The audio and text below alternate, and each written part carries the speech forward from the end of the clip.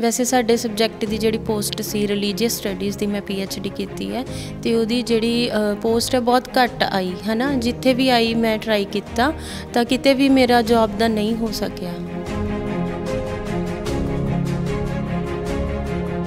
ਸੀ, ਮੈਂ 3 ਸਾਲ ਦੀ ਸੀ, ਉਦੋਂ ਫੀਵਰ ਹੋਇਆ ਸੀ ਤੇ ਉਹਦੇ ਚ ਐਕਸਪਾਇਰੀ ਡੇਟ ਦਾ ਡਾਕਟਰ ਤੋਂ ਗਲਤੀ ਨਾਲ ਇੰਜੈਕਸ਼ਨ ਲੱਗ ਗਿਆ ਸੀ। ਤੇ ਇੰਜੈਕਸ਼ਨ ਉਹਨਾਂ ਨੇ ਲਗਾਇਆ ਤਾਂ ਘਰੇ ਲੈ ਕੇ ਆਏ ਤਾਂ ਜਦੋਂ ਐਵੇਂ ਬੱਚੇ ਨੂੰ ਖੜਾਉਨੇ ਆਪਾਂ, ਹਨਾ, ਗੋਦੀ ਚੱਕ ਕੇ ਤਾਂ ਖੜਾ ਰਹੇ ਸੀ ਤਾਂ ਮੈਂ ਗਿਰ ਜਾਂਦੀ ਸੀ, ਨੀਚੇ ਖੜੀ ਨਹੀਂ ਸੀ ਹੋ ਪਾ ਰਹੀ। ਕਿਉਂਕਿ ਮੈਂ ਸੁਣਦੀ ਹੁੰਦੀ ਸੀ ਜੀ ਜੇ ਤੁਸੀਂ ਹਾਇਰ ਸਟੱਡੀ ਕਰੋਗੇ ਤਾਂ ਤੁਹਾਨੂੰ ਹੈਂਡੀਕੈਪਡ ਕੋਟੇ 'ਚ ਜੌਬ ਮਿਲ ਜੂਗੀ। ਤਾਂ ਮੈਨੂੰ ਲੱਗਦਾ ਉਹ ਸਾਰੀਆਂ ਗੱਲਾਂ ਹੀ ਸੀ, ਕਿਉਂਕਿ ਮੇਰੇ ਨਾਲ ਤਾਂ ਅਜਿਹਾ ਕੁਝ ਵੀ ਨਹੀਂ ਹੋਇਆ, ਇੰਨੀ ਵਧੀਆ ਸਟੱਡੀ ਕੀਤੀ, ਇੰਨੀ ਹਾਇਰ ਸਟੱਡੀ ਕੀਤੀ। ਸਰਕਾਰਾਂ ਨੂੰ ਇਹੀ ਕਹਿਣਾ ਚਾਹੁੰਦੀ ਆ ਕਿ ਜੋ ਬੱਚੇ ਇਸ ਕੰਡੀਸ਼ਨ 'ਚ ਮਿਹਨਤ ਕਰ ਰਹੇ ਨੇ ਪਲੀਜ਼ ਉਹਨਾਂ ਨੂੰ ਜੌਬ ਦਿੱਤੀ ਜਾਵੇ।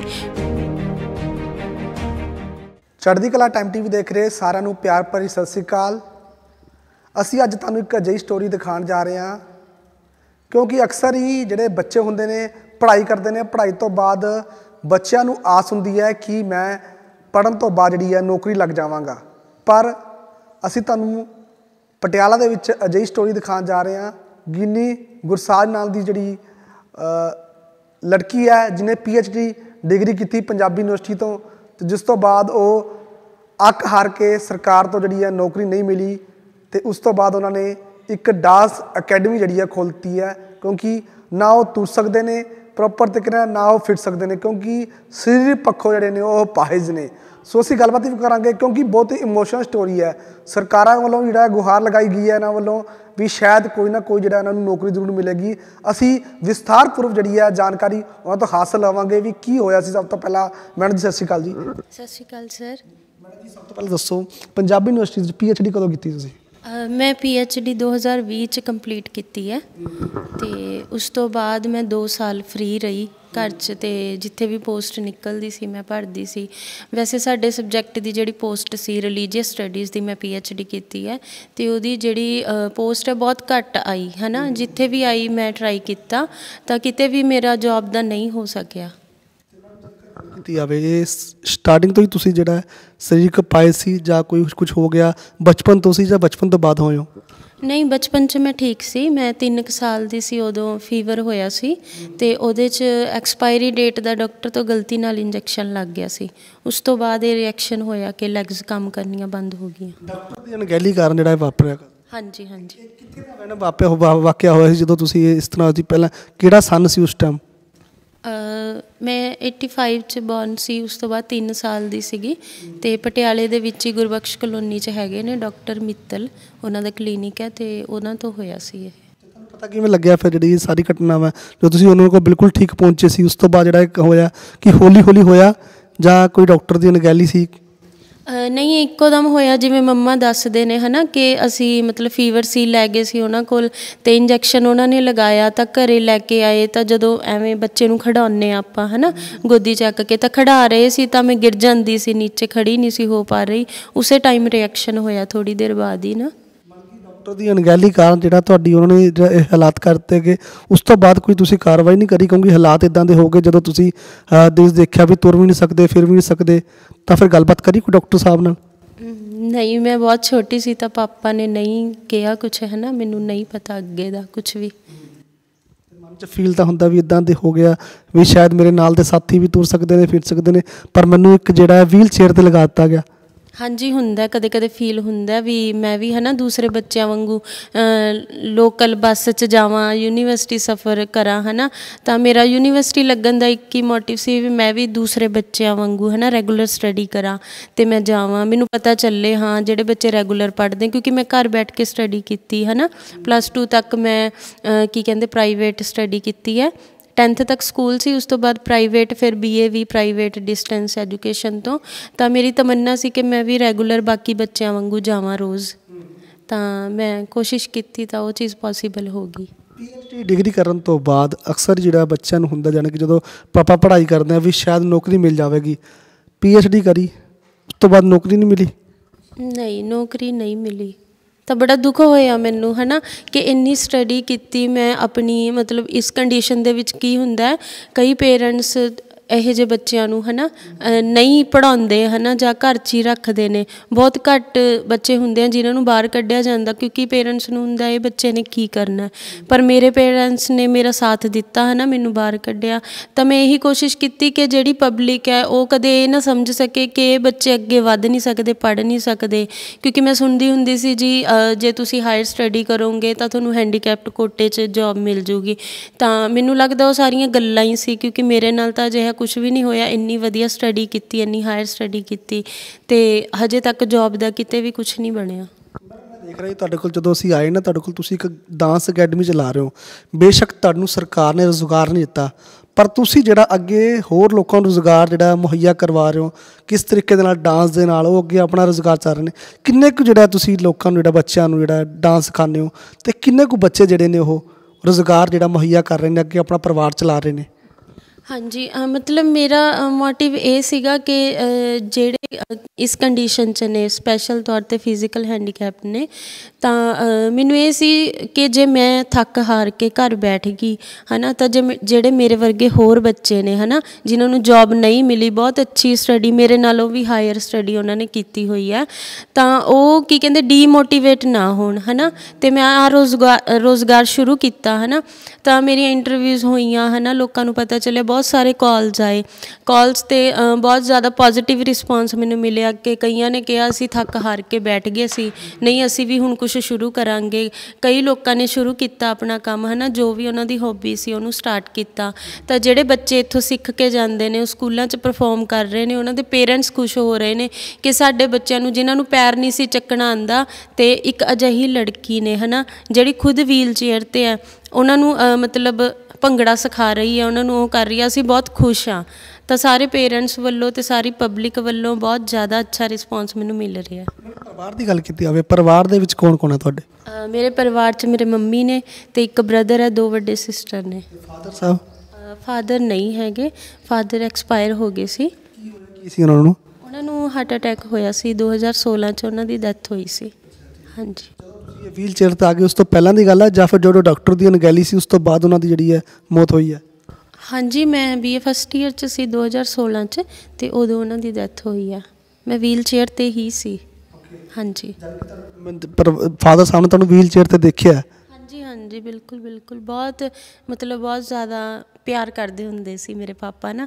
ਉਹਨਾਂ ਨੂੰ ਇਹ ਹੁੰਦਾ ਸੀ ਕਿ ਕੀ ਕਹਿੰਦੇ ਨੇ, ਇਹ ਬੱਚਾ ਅੱਗੇ ਵਧੇ ਕੁਝ ਕਰੇ, ਹਨਾ? ਤਾਂ ਮੈਂ ਉਹ ਚੀਜ਼ ਕਦੇ ਨਹੀਂ ਉਹਨਾਂ ਦੀ ਛੱਡੀ, ਮੈਂ ਹਮੇਸ਼ਾ ਮਿਹਨਤ ਕੀਤੀ। ਕਦੇ ਨਾ ਕਦੇ ਮਨ ਦੇ ਵਿੱਚ ਤਾਂ ਹੁੰਦਾ ਹੋਊਗਾ, ਇੱਕ ਫਾਦਰ ਦਾ ਸਾਇਆ ਨਹੀਂ, ਦੂਜਾ ਹੈਂਡੀਕੈਪਟ ਮਨ ਦੇ ਵਿੱਚ ਕਿਤੇ ਨਾ ਉਹ ਫੀਲਿੰਗ ਤਾਂ ਜ਼ਰੂਰ ਆਉਂਦੀ ਹੋਊਗੀ ਵੀ ਪਰਮਾਤਮਾ ਨੇ ਸਿਰਫ ਮੇਰੇ ਨਾਲ ਹੀ ਕਿਉਂ ਇਦਾਂ ਕੀਤਾ?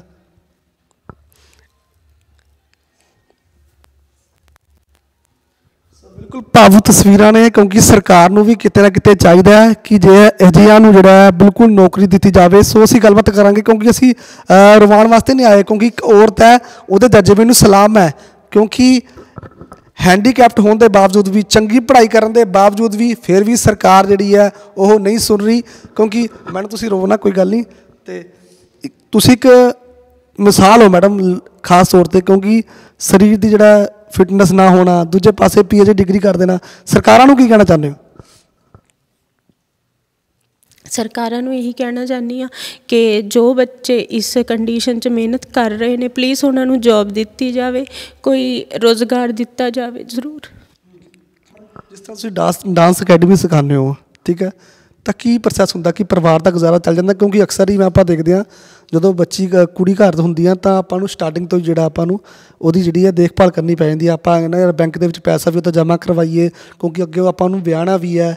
ਤਾਂ ਇਸ ਕਰਕੇ ਤੁਸੀਂ ਜਿਸ ਤਰ੍ਹਾਂ ਹਾਲਾਤ ਦੇ ਵਿੱਚੋਂ, ਕਿਉਂਕਿ ਤੁਸੀਂ ਜਿਸ ਤਰ੍ਹਾਂ ਦੱਸਦੇ ਮੇਰੇ ਪਰਿਵਾਰ ਦਾ ਫਾਦਰ ਦਾ ਸਾਇਆ ਨਹੀਂ, ਬੇਸ਼ੱਕ ਪਰਿਵਾਰ ਦੇ ਵਿੱਚ ਤੁਹਾਡੀ ਬਹੁਤ ਹੈਲਪ ਕੀਤੀ ਜਾਂਦੀ ਹੋਊਗੀ, ਤੁਹਾਡੇ ਭਰਾ ਵੀ ਬਹੁਤ ਕਰਦੇ ਹੋਣਗੇ, ਤੁਹਾਡੀ ਮਦਰ ਵੀ ਬਹੁਤ ਕਰਦੇ ਹੋਊਗੀ, ਪਰ ਮਨ ਦੇ ਵਿੱਚ ਤਾਂ ਹੁੰਦਾ ਵੀ ਆਪਣੇ ਸਟੈਂਡ ਹੋਵਾਂ, ਵੀ ਆਪਣੀ ਕਮਾਈ ਆਪ ਕਰਾਂ। ਕੀ ਇਦਾਂ ਆਪਣਾ ਗੁਜ਼ਾਰਾ ਚੱਲ ਰਿਹਾ ਕਿ ਨਹੀਂ? ਨਹੀਂ, ਹਜੇ ਨਹੀਂ ਚੱਲ ਰਿਹਾ ਕਿਉਂਕਿ ਹਜੇ ਜਿਹੜੀ ਪਬਲਿਕ ਪਬਲਿਕ ਹੈ ਨਾ, ਉਹਨਾਂ ਨੂੰ ਇਹ ਲੱਗਦਾ ਵੀ ਕੀ ਕਹਿੰਦੇ ਨੇ ਕੁਝ ਪੋਜ਼ਿਟਿਵ ਰਿਸਪੌਂਸ ਦੇ ਰਹੇ ਨੇ ਪਰ ਕੁਝ ਕਹਿ ਰਹੇ ਨੇ ਕਿ ਹੈਂਡੀਕੈਪਟ ਹੈ ਹਨਾ ਕੀ ਸਿਖਾਏਗੀ ਹਨਾ ਕੀ ਕਰੇਗੀ ਇਹ ਇਹਦੀ ਅਕੈਡਮੀ 'ਚ ਪਤਾ ਨਹੀਂ ਕੀ ਹੈਗਾ ਵੀ ਹੈ ਕੁਝ ਇਹੋ ਜਿਹਾ। ਕਿਉਂਕਿ ਹਰ ਕੰਮ ਨੂੰ ਸ਼ੁਰੂ ਕਰਦੇ ਆ ਨਾ ਜਦੋਂ ਆਪਾਂ ਉਹਨੂੰ ਇੱਕ ਟਾਈਮ ਲੱਗਦਾ ਇੱਕ ਟਾਈਮ ਪੀਰੀਅਡ ਹੁੰਦਾ ਹੌਲੀ ਹੌਲੀ ਮੈਂ ਉਸ ਚੀਜ਼ 'ਚ ਮਿਹਨਤ ਕਰ ਰਹੀ ਹਾਂ ਹਨਾ ਅ, ਦੇਖਦੇ ਹਾਂ ਅੱਗੇ ਜਾ ਕੇ ਕੀ ਰਿਸਪੌਂਸ ਮਿਲਦਾ ਹਜੇ ਫਿਲਹਾਲ ਬੱਚੇ ਵੀ ਘੱਟ ਨੇ ਕਿਉਂਕਿ ਇੱਕ ਤਾਂ ਐਗਜ਼ਾਮ ਆ ਗਏ ਨੇ ਤੇ ਦੂਸਰਾ ਰਿਸਪੌਂਸ ਹੁੰਦਾ ਪੇਰੈਂਟਸ ਦਾ ਹੁੰਦਾ ਹੈ ਹਨਾ ਕਈਆਂ ਦਾ ਕਿ ਉਹਨਾਂ ਨੂੰ ਇਹ ਲੱਗਦਾ ਕਿ ਕੁੜੀ ਬੈਠੀ ਹੈ ਹੈਂਡੀਕੈਪਟ ਖੁਦ ਤਾਂ ਵੀਲ ਚੇਅਰ ਤੇ ਹੈ। ਕਿ ਮੈਂ, ਮੇਰਾ ਸਵਾਲ ਇਹ ਸੀ ਵੀ ਸ਼ਾਇਦ ਕੁੜੀ ਆਪ ਹੈਂਡੀਕੈਪਟ ਹੈ ਵੀ ਇਹ ਕੀ ਡਾਂਸ ਸਿਖਾਊਗੀ? ਵੀ ਅੱਗੇ ਕੀ ਕੀ ਕੀ ਜਿਹੜਾ ਅੱਗੇ ਉਹਨਾਂ ਬੱਚਿਆਂ ਦਾ ਭਵਿੱਖ ਹੋਊਗਾ? ਹਮੇਸ਼ਾ ਮਾਪੇ ਸੋਚਦਾ ਹੀ ਆ ਕਿ ਇਦਾਂ ਵੀ ਕਦੇ ਮਾਪੇ ਆਉਂਦੇ ਨੇ ਤੁਹਾਡੇ ਕੋਲ ਕਦੇ? ਹਾਂਜੀ ਹਾਂਜੀ, ਆਉਂਦੇ ਨੇ। ਜਿਵੇਂ ਸ਼ੁਰੂ 'ਚ ਮੈਂ ਜਦੋਂ ਸਟਾਰਟ ਕੀਤਾ ਸੀ, ਤਾਂ ਮੈਨੂੰ ਪੁੱਛਿਆ ਗਿਆ ਇੱਕ ਸਵਾਲ, ਇੱਥੇ ਯਹਾਂ ਪੇ ਡਾਂਸ ਕੌਣ ਸਿਖਾਤਾ ਹੈ, ਹਨਾ? ਤਾਂ ਮੈਂ ਕਿਹਾ ਕਿ ਮੈਂ ਵੀ ਸਿਖਾਉਣੀ ਆ। ਤੇ ਕਹਿੰਦੇ, ਫਿਰ ਜਦੋਂ ਮੈਂ ਇਹ ਗੱਲ ਕਹਿੰਨੀ ਮੈਂ ਸਿਖਾਉਣੀ ਆ, ਹਨਾ, ਤੋਂ ਪਹਿਲਾਂ ਨੀਚੋਂ ਦੀ ਪੈਰਾਂ ਤੋਂ ਲੈ ਕੇ ਉੱਪਰ ਤੱਕ ਦੇਖਦੇ ਨੇ, ਅੱਛਾ, ਇਹ ਸਿਖਾਉਂਦੀ। ਫਿਰ ਮੈਂ ਉਹਨਾਂ ਨੂੰ ਨਾਲੇ ਕਹਿੰਨੀ ਨਹੀਂ, ਅਸੀਂ ਟਿਊਟਰ ਹਾਇਰ ਕੀਤੇ ਹੋਏ ਨੇ ਨਾਲ, ਹਨਾ? ਤਾਂ ਮੈਂ ਟਿਊਟਰ ਵੀ ਹਾਇਰ ਕੀਤਾ ਹੋਇਆ, ਕਿ ਤਾਂ ਕਿ ਪੇਰੈਂਟਸ ਨੂੰ ਇਹ ਦਿੱਕਤ ਨਾ ਆਵੇ, ਹਨਾ?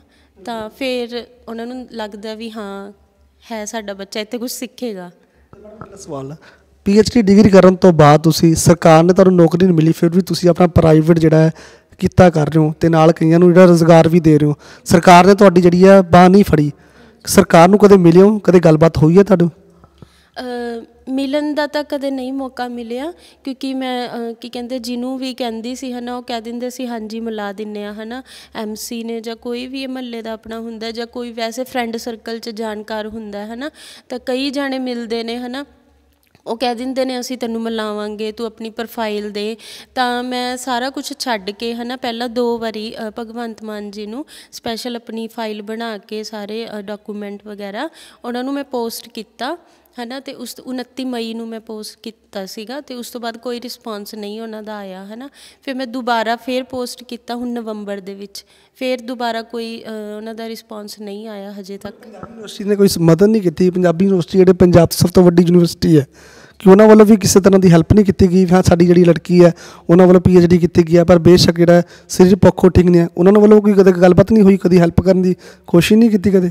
ਨਹੀਂ ਉਹਨਾਂ ਵੱਲੋਂ ਕੋਈ ਰਿਸਪਾਂਸ ਹਜੇ ਨਹੀਂ ਆਇਆ। ਉਹ ਕਹਿ ਦਿੰਦੇ ਨੇ ਪੋਸਟਾਂ ਨਿਕਲਣਗੀਆਂ ਜੀ ਫਿਰ ਕੁਝ ਕਰਾਂਗੇ ਤੁਸੀਂ ਫਿਲ ਕਰੋ। ਹਨਾ? ਜਦੋਂ ਮੈਂ ਫਿਲ ਕਰ ਦਿੰਨੀ ਆ ਮੈਂ ਦੱਸ ਦਿੰਨੀ ਆ ਤਾਂ ਜਿਹੜਾ ਹੁੰਦਾ ਕਿ ਰਿਸਪਾਂਸ ਹੁੰਦਾ ਨਾ ਇੱਕ ਕਿ ਹਾਂ, ਅਸੀਂ ਤੇਰੀ ਹੈਲਪ ਕਰਾਂਗੇ ਤੂੰ ਜਾ ਇੰਟਰਵਿਊ ਤੇ ਜਾਂ ਕੁਝ ਦਾ ਕੁਝ ਵੀ ਨਹੀਂ। ਮਤਲਬ ਉਸ ਟਾਈਮ ਹੁੰਦਾ ਉਹ ਬਾਅਦ ਵਿੱਚ ਕੋਈ ਗੱਲ ਨਹੀਂ ਕਰਦਾ ਕੋਈ ਸੁਣਦਾ ਨਹੀਂ ਕੋਈ ਤੁਹਾਡੇ ਫੋਨ ਚੱਕਣੇ ਬੰਦ ਕਰ ਦਿੰਦੇ ਨੇ ਹਨਾ, ਲੋਕ ਤੁਹਾਡੇ ਜਦੋਂ ਤੁਸੀਂ ਕਿਸੇ ਮਤਲਬ ਪ੍ਰੋਬਲਮ 'ਚ ਹੁੰਨੇ ਹੋ, ਹਨਾ, ਇਹ ਰਿਐਲਿਟੀ ਹੈ ਜਦੋਂ ਤੁਸੀਂ ਤੁਹਾਡੇ ਕੋਲ ਕੁਝ ਨਹੀਂ ਹੁੰਦਾ ਨਾ, ਤੁਸੀਂ ਕਿਸੇ ਚੀਜ਼ ਤੇ ਨਹੀਂ ਸਟੈਂਡ ਤਾਂ ਜਿਹੜਾ ਤੁਹਾਡਾ ਫਰੈਂਡ ਸਰਕਲ ਹੈ ਜਿਹੜੇ ਤੁਹਾਡੇ ਆਸ-ਪਾਸ ਵਾਲੇ ਹੁੰਦੇ ਉਹ ਸਾਰੇ ਤੁਹਾਡਾ ਸਾਥ ਛੱਡ ਦਿੰਦੇ ਨੇ। ਹੌਸਲੇ ਤੁਹਾਡੇ ਬਹੁਤ ਬੁਲੰਦ ਨੇ, ਤੁਸੀਂ ਇੰਨੀ ਮਿਹਨਤ ਵੀ ਕਰ ਰਹੇ ਹੋ, ਕਦੇ ਨਾ ਕਦੇ ਤੁਹਾਡੀ ਮਿਹਨਤ ਜ਼ਰੂਰ ਰੰਗ ਲੈ ਕੇ ਆਵੇਗੀ। ਉਸ ਔਰਤਾਂ ਨੂੰ ਕੀ ਕਹਿਣਾ ਚਾਹੁੰਦਾ ਖਾਸ ਤੌਰ ਤੇ ਇਹਦੀ ਸਹੀ ਨੇ? ਤੰਦਰੁਸਤ ਨੇ, ਪਰ ਫਿਰ ਵੀ ਕੰਮ ਕਰ ਨਹੀਂ ਕਰਦੀਆਂ। ਪੰਜਾਬ ਦੇ ਬਹੁਤ ਔਰਤਾਂ ਨੇ, ਮੈਂ ਨਾਮ ਨਹੀਂ ਜ਼ਿਕਰ ਨਹੀਂ ਕਰਨਾ ਚਾਹੁੰਦਾ। ਉਹਨਾਂ ਨੂੰ ਕੀ ਮੈਸੇਜ ਦੇਣਾ ਚਾਹੁੰਦੇ? ਮੈਂ ਉਹਨਾਂ ਨੂੰ ਇਹੀ ਮੈਸੇਜ ਦੇਣਾ ਚਾਹੁੰਦੀ ਹਾਂ ਕਿ ਸਭ ਤੋਂ ਪਹਿਲਾਂ ਤਾਂ ਤੁਸੀਂ ਸ਼ੁਕਰ ਕਰਿਆ ਕਰੋ ਪਰਮਾਤਮਾ ਦਾ ਕਿ ਤੁਹਾਨੂੰ ਸਭ ਕੁਝ ਸਹੀ ਸਲਾਮਤ ਦਿੱਤਾ, ਅੰਗ ਪੈਰ, ਹਨਾ? ਤੇ ਤੁਸੀਂ ਉਹਦਾ ਸ਼ੁਕਰ ਕਰੋ, ਪਰਮਾਤਮਾ ਦਾ ਰੋਜ਼ ਸ਼ੁਕਰ ਕਰੋ ਕਿ ਤੁਹਾਨੂੰ ਇਹ ਪਿਆਰੀ ਜ਼ਿੰਦਗੀ ਦਿੱਤੀ ਹੈ ਤੇ ਉਸ ਤੋਂ ਬਾਅਦ ਜਿਹੜੇ ਕੰਮ ਲਈ ਤੁਹਾਨੂੰ ਪਰਮਾਤਮਾ ਨੇ ਦੁਨੀਆ ਤੇ ਭੇਜਿਆ, ਆਪਣਾ ਕੰਮ ਕਰਨ ਲਈ, ਚਾਹੇ ਤੁਸੀਂ ਇੱਕ ਹਾਊਸ ਵਾਈਫ ਹੋ, ਚਾਹੇ ਤੁਸੀਂ ਬਾਹਰ ਜਾ ਕੇ ਜੌਬ ਕਰ ਰਹੇ ਹੋ, ਚਾਹੇ ਤੁਸੀਂ ਕਿਸੇ ਕਲਚਰਲ ਫੀਲਡ ਦੇ ਵਿੱਚੋਂ ਹਨਾ? ਤਾਂ ਤੁਸੀਂ ਹਮੇਸ਼ਾ ਆਪਣਾ ਕੰਮ ਕਰੋ ਮਿਹਨਤ ਨਾਲ ਕਰੋ ਤੇ ਜੇ ਕਦੇ ਤੁਹਾਨੂੰ ਲੱਗਦਾ ਲੋ ਫੀਲ ਹੁੰਦੇ ਹੋ ਤੁਸੀਂ ਤਾਂ ਇੱਕ ਵਾਰੀ ਇਹ ਜ਼ਰੂਰ ਦੇਖ ਲਿਆ ਕਰੋ ਕਿ ਜਿਹੜੇ ਤੁਹਾਡੇ ਤੋਂ ਨੀਵੇਂ ਨੇ ਜਿਹੜੇ ਤੁਹਾਡੇ ਤੋਂ ਥੋੜਾ ਨੀਚੇ ਨੇ ਹਨਾ ਜਿਨ੍ਹਾਂ ਦੇ ਅੰਗ ਅੰਗ ਪੈਰ ਨਹੀਂ ਸਲਾਮਤ ਹਨਾ ਉਹ ਵੀ ਤਾਂ ਕੰਮ ਕਰ ਰਹੇ ਨੇ ਨਾ ਤਾਂ ਇਹੀ ਸੋਚ ਕੇ ਤੁਸੀਂ ਅੱਗੇ ਵਧਿਆ ਕਰੋ ਹਮੇਸ਼ਾ ਪੋਜ਼ਿਟਿਵ ਰਿਹਾ ਕਰੋ। ਥੈਂਕ ਯੂ ਜੀ ਬਹੁਤ ਬਹੁਤ ਥੈਂਕ ਯੂ ਸੋ ਮਚ ਬਿਲਕੁਲ ਜਜ਼ਬੇ ਨੂੰ ਸਲਾਮ ਹੈ ਕਿਉਂਕਿ ਜਿਸ ਤਰ੍ਹਾਂ ਤੁਸੀਂ ਇਹ ਤਸਵੀਰਾਂ ਦੇਖ ਰਹੇ ਹੋ ਇਸ ਲੜਕੀ ਦੀਆਂ ਡੀ ਡਿਗਰੀ ਕਰਨ ਤੋਂ ਬਾਅਦ ਸਰਕਾਰ ਵੱਲੋਂ ਜਿਹੜਾ ਨੌਕਰੀ ਨਹੀਂ ਦਿੱਤੀ ਗਈ, ਪਰ ਆਪਣੀ ਜਿਹੜਾ ਸੰਗੀਤਿਕ ਜਿਹੜੀ ਕਿ ਡਾਂਸ ਦੀ ਅਕੈਡਮੀ ਜਿਹੜੀ ਹੈ ਖੋਲੀ ਗਈ ਹੈ, ਜਿਸ ਤੋਂ ਬਾਅਦ ਅਨੇਕਾਂ ਨੌਜਵਾਨਾਂ ਨੂੰ ਜਿਹੜਾ ਰੋਜ਼ਗਾਰ ਜਿਹੜਾ ਹੈ ਉਹ ਡਾਂਸ ਦੇ ਜ਼ਰੀਏ ਮੁਹੱਈਆ ਕਰਵਾਇਆ ਗਿਆ ਹੈ। ਸੋ ਸਰਕਾਰ ਨੂੰ ਜ਼ਰੂਰ ਗੁਜ਼ਾਰਿਸ਼ ਹੈ ਕਿ ਅਜਿਹੀਆਂ ਔਰਤਾਂ ਦੇ ਵੱਲ ਜ਼ਰੂਰ ਧਿਆਨ ਦਿੱਤਾ ਜਾਵੇ ਤਾਂ ਜੋ ਉਹਦਾ ਬਣਦਾ ਮਾਣ ਸਤਿਕਾਰ ਹੈ, ਉਹ ਜ਼ਰੂਰ ਮਿਲ ਸਕੇ। ਪਟਿਆਲਾ ਤੋਂ ਅਮਰਜੀਤ ਸਿੰਘ ਦੀ ਵਿਸ਼ੇਸ਼ ਰਿਪੋਰਟ।